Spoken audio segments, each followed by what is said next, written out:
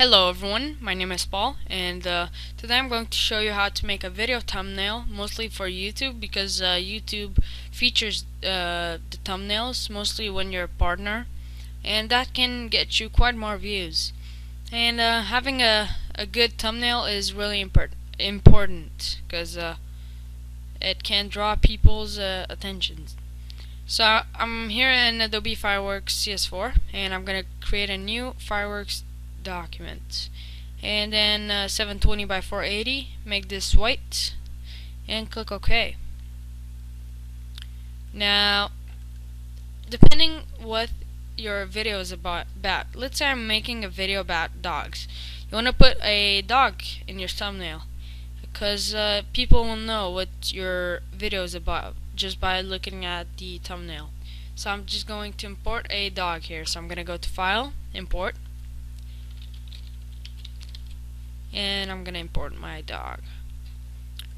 Uh, you see we have a quite cool dog and uh, I wanna wait let me just put a background here. Just take the rectangle tool and uh, you know just draw a you know a uh, rectangle.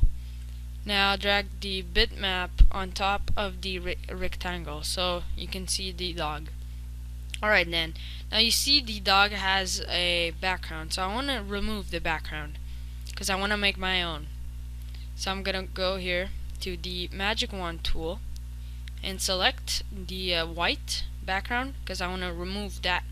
You have to select whatever you want to remove. Now to set this up I'm going to go to the tolerance.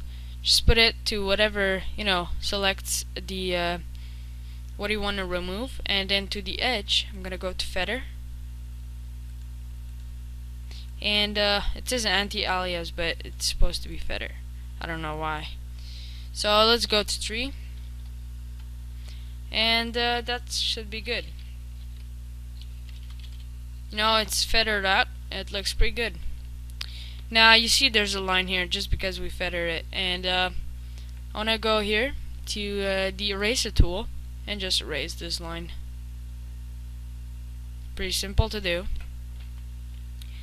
Now, you see we don't have a background and I can go to the rectangle I made we made earlier and go here to fill options then select gradient and linear here now go to edit click on this and pick whatever color you like. I'm just gonna put this. You know, this looks pretty good. It uh, you know it attracts uh, people's attention, and it's pretty good. And maybe you want to add a title. I'm just gonna type here, "Bad Dog." Let's say. You know. No, this is uh, pretty good. This will attract uh, viewers and we'll get you more reviews. So thank you for watching. This video was brought to you by YTutorials and I'm going to see you next time.